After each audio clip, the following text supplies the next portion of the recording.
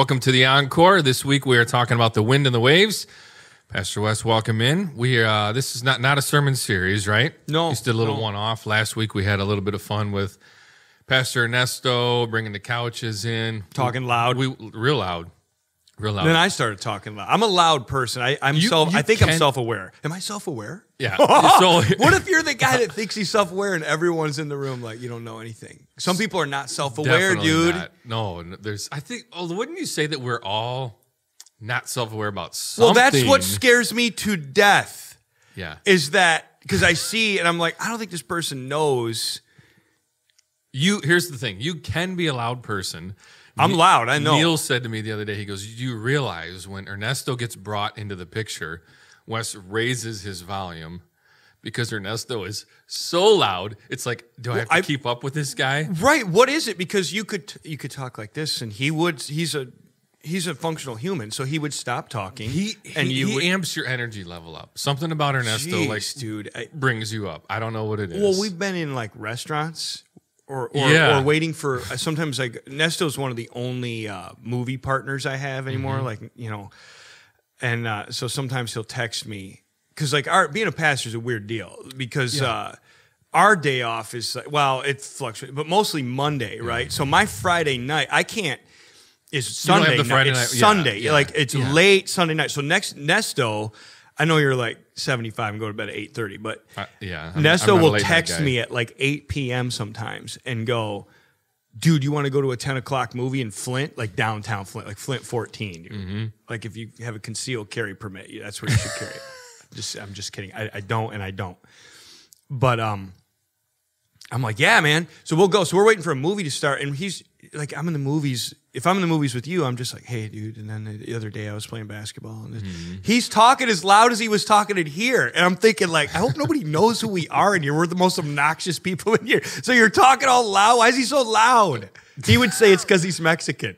He yeah, he blames it on his culture. That doesn't really I'm like, I know Mexicans. They're real quiet. Yeah. They're, they're quiet and polite. Yeah. He's super loud dude. So loud. Well, his, his- I get loud. his whole personality is he's a larger than life kind of a guy. That's oh, why dude, he's so it just loved. But explodes into a room. yeah, and I think I think you have that in you too. So when the the two of you get together, it's just like So um, I'm just gonna can- sit here on the couch and just play ping pong I in can, my head and go. I can hear it happening, and I'm like, why are we being so loud? But I can't bring it back. Like I can't. Like, but it, yeah. It, anyway, he was here, and it was loud. It was fun. it was really fun. I don't know if people were annoyed that we went long.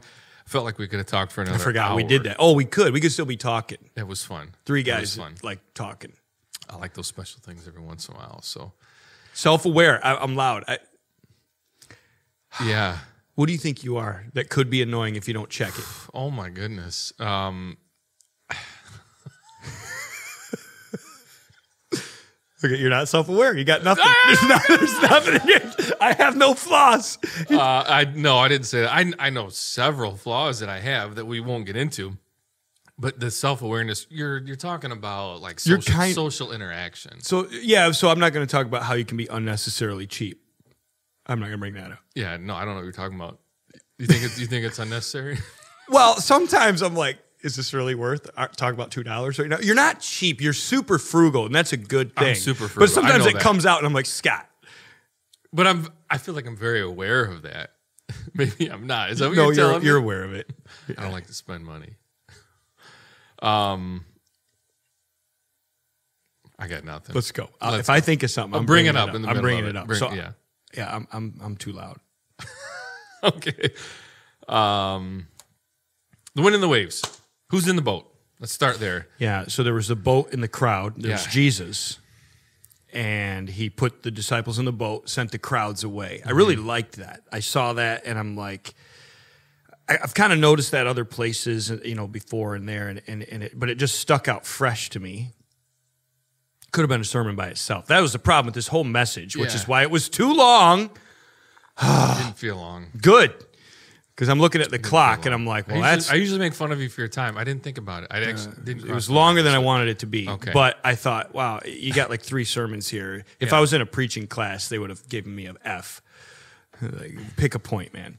But I liked them all, so I preached them all. I did think that, that that was multiple sermons. Pick a point. anyways, yeah, no, I, it's I should have done a three week series.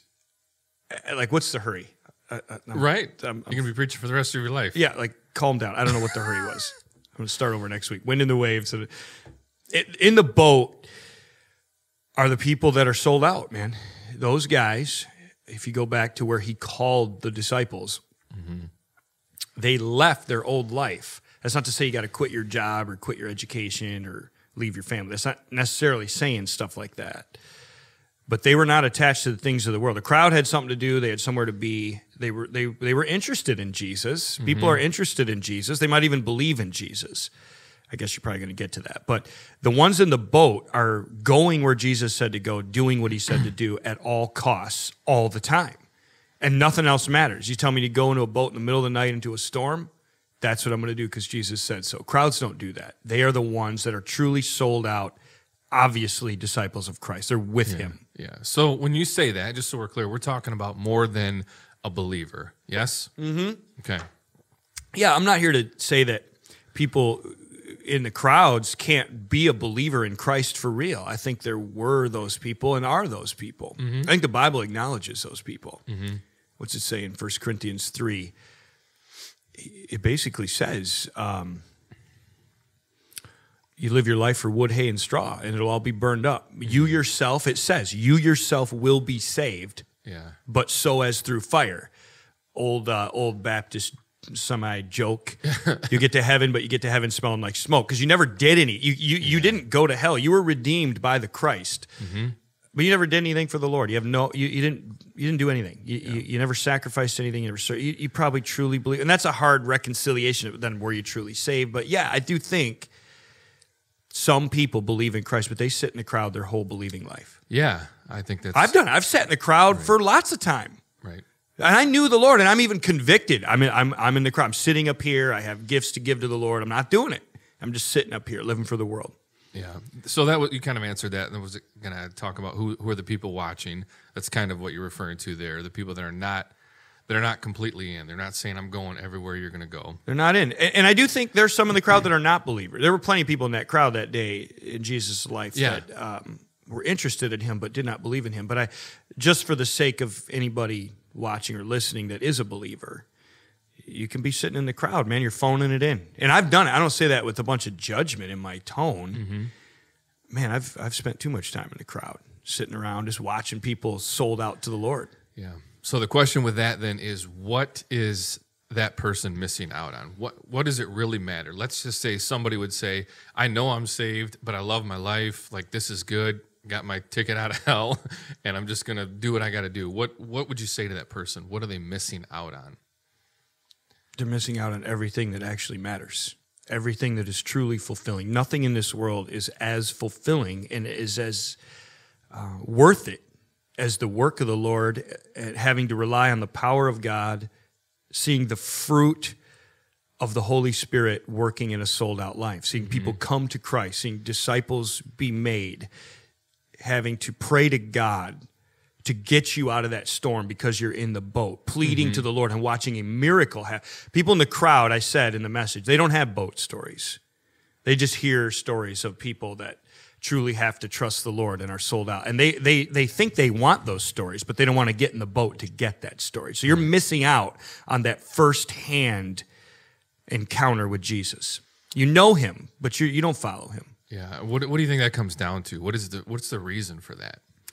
Well, I'm, I'm only going to speak from my own heart, and uh, I, I kind of like to hear what you have to say. I mean, I, for me, it is the idolatry of. If I'm in the crowd, it is the idolatry of the lust for the things in the world, Yeah. hobbies, money, possessions, laziness. Mm-hmm. Like, because it's no joke to get in that boat and go to the other. Everyone Work home it. else went home, went to bed. Those guys were up all night, scared for their life, and that's how it is in this Christian life. Sometimes it's a lot of work, man, and it, it's scary sometimes. And you just think, man, why am I doing this? Mm-hmm. Then Jesus appears and calms the storm, pulls you out of the water, and gives you a miracle, casts a demon out of a guy, and you're like, oh, that's right, this was worth it.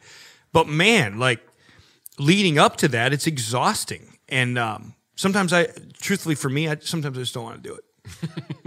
Uh, yeah. So the the laziness part is the part of the the lust of the flesh too, which you talk about the comfort. I would say very very similar answer to that is the reason, but I think on a practical level, those things of the world are right in front of our eyes. So it's just at the forefront. I can see this. This is kind of what I want, and sometimes we're not we're not able to see big picture or even fully understand sometimes. And so I think it's it's it's just easier, flat out, just It's easier, easier. just to go. Yeah, I'm going to take this, and at the same time, it's like we we have our cake and eat it too. I, I'm going to go to heaven, so then we can mentally check out and say, "This isn't really worth the work." But It is easier to not serve the Lord. It really mm-hmm. is, but it isn't better. right, So, like, I look at like we're sports guys, I guess. Grew up, yeah, you know, maybe not everyone can relate to this, but you're basketball guy or whatever. yeah. I remember being a kid going to the varsity basketball game when I was a little boy, like 10 years old or whatever. My dad would take me to the Fenton varsity game, and they were good. And um, band would play, dun, dun, dun, dun, dun, dun, and then the crowd would cheer, and then they come busting out of the tunnel. They run around, you know, you know Yeah. the deal. They warm Yeah. up, and um, then they play the game. And the whole crowd you're not playing the game. You're there in your jeans right? Yeah. so we're we're cheering and awesome stuff happens and they are sweating they're falling they get hurt they get limp limping and carried off the floor. But something in me as a kid i remember thinking man i want to i want to do that Mm-hmm. i want to be down there on the floor because i want to ex- I, whatever they're experiencing we don't know what that is up here in the crowd Right. that's what it's like dude Right. as a Christian, if you're in the boat, I, I, if you want, if you're in the game, you get hurt, you get attacked, you get carried off the floor, you're sweating, you're crying, and you, you look up in the crowd, everyone's comfortable in their jeans, and you're like, man, it's it is, it's easier up there. It's not better, which you know, and so a lot of people, man, they they try to get on the floor, and then they're like, Well, this is too much work. I'm gonna go back and sit in the stands. Yeah, yeah. I, I try to teach my kids that I think about that too. Like anything, anything in this world that's worth it is worth putting in the effort for. So you think about whatever you could relate that to sports. Those those kids that you're watching on a Friday night, they're working hard all week long to, Right. to even have a spot on the floor that we, that we don't see that type of thing. And I tell my kids that all the time. They they they you know sometimes as a nine or ten year old boy, you just want to be good at things and want to try it, and you're not good. I'm like, dude, anything you want, you're gonna have to work for it. You could say the same thing for for marriage, of course. Like if you want this thing to su- succeed, you got to work for it. And so That's a good point. going back to your idolatry, that's kind of what it comes down to. What Right. what do you want the most? Right. You know, if you Everyone's be- in the stands eating popcorn. right. Like that's what Right. Christianity is like. A lot of people are in the. Sta- I've been at no judgment. I don't want. I hope I'm not that now. But I've been in the stands eating popcorn, just comfortable. Like I don't want to do all that. Yeah, I know. I know. Haven't you found though? This is off script now. I'm going off off script. Way off. Haven't you found though? I, I don't know. Like the older older you get, the more that you see chasing the wind, whatever you want to call it, just seems like more and more and more empty all it's, the time. It's a hundred percent empty. I mean, I think if you're looking for it, God gives you wisdom, and you just see like this is not worth it. In the end, I'm going to be again eating popcorn and candy, and, and you just feel kind of gross and walk out and yeah. those guys accomplished something. They they won. You Mm-hmm. know, again to translate it to Christianity, they see the fruit of the fight Right. And needing the Lord and all of that. And then you know, if you're just sitting in the stands living for the world, it's just a kind of a leaves you kind of a gross feeling. It does, yeah, and I, I, I don't know. I feel like for me, I see that more and more because there's always st- still certain things that we strive to do on Earth, Mm-hmm. and you just find like, huh, it just, just I don't enjoy that anymore. That doesn't, just doesn't bring me the joy that I once thought Dude, it did. I- so I want to say too, we're not saying someone out there that's working hard at their job, working in the shop or whatever they're doing, commuting somewhere right now, Right. listening to this, your your earthly life is a waste of time. The question is, are you living for the Lord in that? Like maybe God has called you to that job or that education or whatever. That's not saying like if you haven't quit your job and gone to Africa to serve. The, that's not Right, That's not the point. But some people are doing it to live for the things of the world, and that just leaves a pit in your stomach. I think. I mean, Right. That's good. All right, so let's transition a little bit. You use the story of Mary and Martha. Um, what, what's the point of that story? You can just kind of give a little bit of a synopsis on that, and and the point of it, and then I'll have some follow up questions. Point of it is you can have the interesting thing. It says Martha invited him into her home. A lot of people do that. They invite Jesus into their life. They believe in the Lord. I think Martha did. Um, and then as he's teaching, mm-hmm. Mary's in there being taught the word of the Lord. Mm-hmm. She's worried and bothered, Jesus says, about so many things. At preparation, doing she's involved in everything else but the word of the Lord. And that's what people do. They invite Jesus in their life. They're convicted, they're saved, they believe in the Lord, and they confess him as Savior. And then they spend the rest of their time missing growing in his word. Like Mary, Mary dropped everything. Mm-hmm. And Martha was mad that she didn't continue helping. And that's what a lot of people do. They still get consumed with everything but growing in his word. And and Jesus says, You missed it. You missed the good part. And so, what? It, so, just to uh, reiterate, what exactly is the good part? What is that referring to? I I would say things of eternal value. The good whatever Jesus says and whatever he calls us to is is nothing of earthly value. It's not there's no t- he never calls us to. It never grows us in like temporary things that that are when Christ comes or when we die and stand accountable to the Lord. He didn't call us to things that were worthless in that moment. Whatever he says, uh, what's he say? My uh, the Bible says his word is ever from everlasting to everlasting. The grass withers, the flower fades, but the word of our Lord stands forever. So whatever he says is everlasting. Whatever he calls us to is of eternal value. That's the good part. And Mary was consuming that. Martha was concerned about everything that's not going to matter is going to be burned up anyway. Okay, so uh, we're going into distractions and things like that, and you spent a good amount of time, Luke twelve, talking about worry, right? Yeah. And so the the passage talks talks about the fact that, I mean, we're how many times were worry even mentioned in those two or three chapters that you were running through? It's crazy when you read Worry, worry, keep Yeah. worrying, don't worry, do not worry. I know I highlighted them all for the first time ever in my life. Yeah. I, I there was a, this is fresh highlights in my Bible. I'm like, oh my word, this is, he's definitely making a point about this. So what is the point? Why would he say "don't worry" so many times? Why do you think that is mentioned numerous times? Well, because it's a major problem. Yeah, because Yeah. it, it's obviously something the Lord, all knowing, knows that we wrestle with Right. all the time in all kinds of ways. Never mind the epistles, the later New Testament letters that say, um, "Be anxious for nothing," but in all. I mean, it's always acknowledging. You guys are worried sick about everything, and not, most of that stuff doesn't matter. Yeah. Stop it. Yeah. Stop worrying. Don't keep worrying. And then not only does he say stop, he says stop because I got it. I have your material goods. I have your food and clothing. I I have your future. And he, he even says that's in my understanding of what he says. I ha- we're worried about our future. What's going to happen tomorrow? Yeah. He says, "Who of you by worrying can add a single hour?" Like, so if you What can't do that, what's do? the point? Yeah. Stop. Yeah, and so I and I want to bring that up because worry is, as you know, Jesus mentioned often here, a huge part of our everyday thinking, right? And so you Mm-hmm. had said something to that there is no there's no place for fear and uh, faith or Yeah. worry and faith to be in the same same space, right? Yeah.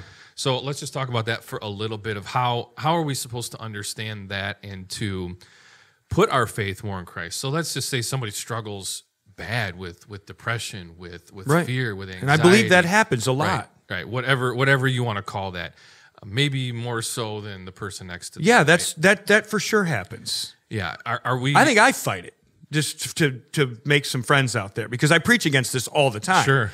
Like I, I preach against anxiety. I preach against all these ridiculous medications that are being peddled on us out there. And I think people might interpret that as Wes doesn't understand and he's just grinding axes. And, and not because anyone's necessarily that's, said that's that good me. that you said that. Yeah. But I I'm I'm preaching out of my own heart. Like I could go I could go pitch a doctor on a diagnosis and get prescribed an anti-anxiety or anti-depression medication. I, I could I could say the word I know the words to say, not just to con them, but because I feel those challenges that people probably feel out there. okay. Because I don't have a problem admitting that I fight, I can go I can go to a shadowy place, man. All right. I can so- curl up in bed. let's get personal and specific. yeah, it's fine. And I'm a little uncomfortable admitting all this. 'cause I- Hey, now you now you brought it up. We're gonna go because I also like I also I'm big on masculinity, Scott. So I don't want. I don't want to reveal too much. Softness. understand. but I think it might be helpful because I do preach against it, but I'm Yeah. preaching against it out of my own gut. you Okay. know, so, what are those things that uh, some examples that sweaty this, right this worries more worries me more than anything in my life, Are a couple things? What? Listen, man, I, I I worry about the future of my kids. I I, I worry about the future of the church. I worry about my competence as a husband. Uh, as as I, I worry about whether I'm a good father, and and then of course if you worry, then you obviously think you're not. Like, what are you worried about? If Yeah. you if you think you've got it, then you don't worry, or that God is helping you do it. So that creeps in on me. That it creeps in like a virus. You know, I I worry about like. I, you know, I'm not the pastor I should be. I'm not the preacher I should be. I, every week, I think like this. That's probably the last sermon that'll ever make any sense. And the last time, next time I prep, everyone's going to realize that I, you know, I, I, I don't know how to preach. I'm I- I- all these things, man. These doubts and insecurities, they just creep in terribly. You know. Um, Man, I could go for a long time, and so so, I so I, I'd like to just talking about this. I'd like to go get in bed and go to sleep, just like just turn, pull the pull the shades and just like like Right. I, I mean it creeps in my stomach man. It- and it clouds my mind and and I, I, get I get kind of wigged out. I get overwhelmed real easy. Yeah, I, I I'm with you. I think um, family, like being a being a husband and a father, and then and then a pastor, that is, it's an overwhelming thing. oh my word it Those are like the three hardest things. And I'm not saying people don't have hard things in their life. Like for me, those are the three hardest things in the world. And you just think every day, dude, am I doing this thing right? Like this is. I know. am I doing anything right? And Yeah. and then I'll leave. You know, I'll travel somewhere. Whether and it's not even like I got to travel to some crazy foreign country. I- You know, I preach in a prison in Ohio and drive down the highway, Mm-hmm. and Aaron's in the car with me. I'm like, are we both going to die? And then my kids aren't going to have parents. Like, oh my word! And uh, you know, so then you kind of just sink into this. And I, you know, I just want to say also. So I, I, I know I. we- I've known you for a long time, so I know you battle this. Like, I, I mean, we we both would say. I don't think people realize I'm, we're very nervous people, don't you think? Like, by if left unto ourselves, are you a nervous person? I mean, yeah, I guess when you when you when you talk about it that way, yes, for sure. N- nervous. I for- can. I guess I'm vulnerable. Yeah. and I've wondered. Like, I don't think I watch people that are ice cold, man, and I'm not in But a bad you know way. What, you know what though? People would say that about you. People I would know. So, like, dude, you're up there preaching. I know. He- he's ice cold. Never think about it. So, I would say, I know. and I'm not trying to make an idol of anybody. I think everybody is. You know, I think ev- they are, but again, with dispositions. Some people are there's ice in their veins, dude, and and, and I think they battle with other things. It's not that Yeah. they're they have no struggle, but that's I get nervous socially, like I, I all the time. And but here's the thing: you say people might perceive me otherwise, same as you. Yeah. People think you're real relaxed, like oh, it just puts me at ease, and I agree with that. You Right. do, and I'm thinking like, man, I'm, ner- I'm nervous just talking about this Yeah, dude, totally. but I I take no medication, and I'm not mm-hmm. saying that out of pride. I, I, I like if you do, you're a loser. Like I'm I'm not saying that, but I don't. I I could qualify for anti-anxiety, anti-depression medication, and I, I don't take anything because I I have learned when I go that what that all those weaknesses do when they they force me if I'm going to do what I'm called to do it drives me to the word of God and pleading to the Lord and honestly he does remedy that Yeah. and the Yeah. minute Yeah. the minute I start to feel a little distance I start to wig out man I get more depressed I get more anxious I, I start to I start to freak out and Mm-hmm. and become overwhelmed instantly and I know like I'm drifting and I come back but the same would be true of medication right so what's the difference one's an idol and one is God right, right, and I, and I, I don't have a problem saying that because I feel like I know what people are battling out there maybe not Yeah. everything but right. Not yeah. That's good. Okay, so, the- worry so Jesus obviously knew this was a problem He knows it's a problem. The- The question I want to talk about, and we're not going to get to half this stuff now, which is fine. At what point is that a sin?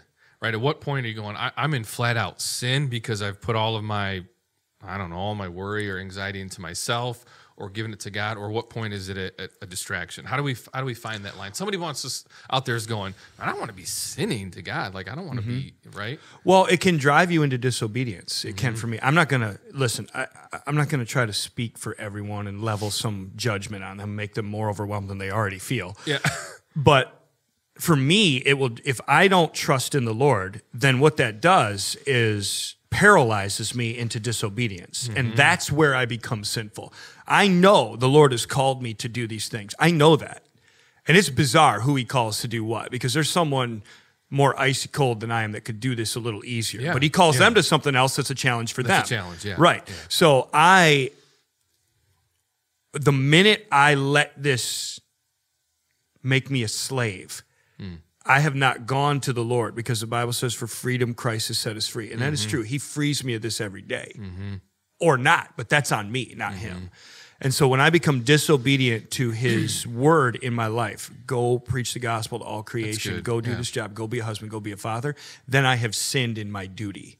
And that is just the tool that the enemy has used against me to cause. That's what the sin is for me, to not obey, because it'll freeze me into darkness. Yeah.